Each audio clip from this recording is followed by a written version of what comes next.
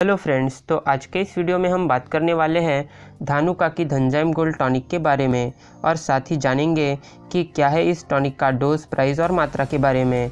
पर वीडियो शुरू करने से पहले मैं आपको एक रिक्वेस्ट करना चाहूँगा कि अगर आप हमारे चैनल पर नए आए हैं तो आप हमारे चैनल को प्लीज़ सब्सक्राइब कर दीजिए। और हमारा एक और चैनल है, जिसकी लिंक आपको डिस्क्रिप्शन में मिल जाएगी। आप हो सके तो हमारे उस चैनल को भी सब्सक्राइब कर दीजिए। इससे हमें बहुत ही ज़्यादा मोटिवेशन मिलता है।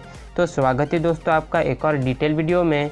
तो चलिए, आज का वीडियो शुरू करते हैं। तो पहले जान लेते हैं कि इस टॉनिक में क्या है। तो इस टॉनिक में है gibberellic acid enzymes hormones vitamin और माइक्रोन्यूट्रिएंट्स तो अब देखते हैं कि ये टॉनिक क्या कर सकता है।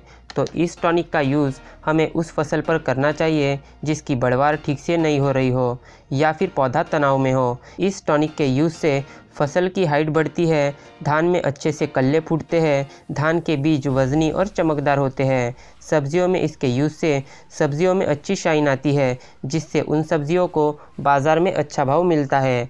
उपयोग तो इस टॉनिक का यूज़ आप सभी प्रकार की फ़सलों पर कर सकते हैं, जैसे धान वर्गीय, सब्ज़ी वर्गीय, फूल वर्गीय, फल वर्गीय, तेल वर्गीय और दाल वर्गीय। डोज तो अगर बात करें धनजाइम गोल्ड के डोज की तो आपको एक लीटर पानी में दो से तीन एम एल धनजाइम गोल्ड को मिलाना है, ताकि इस टॉनिक से अच्छे परिणाम आपको मिल सके। प्राइस तो धनजाइम गोल्ड की एक लीटर की बॉटल आती है 700 से 800 के बीच।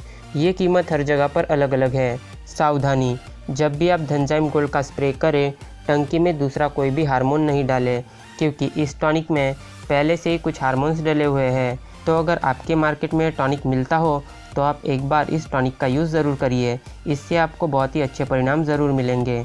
तो बस यही था आज के वीडियो में। अगर ये वीडियो आपको अच्छा लगा हो तो इस वीडियो को कर दीजिए लाइक और ऐसे इंटरेस्टिंग कंटेंट्स के लिए हमारे दोनों चैनल्स को प्लीज़ सब्सक्राइब कर दीजिए। Till then bye and be safe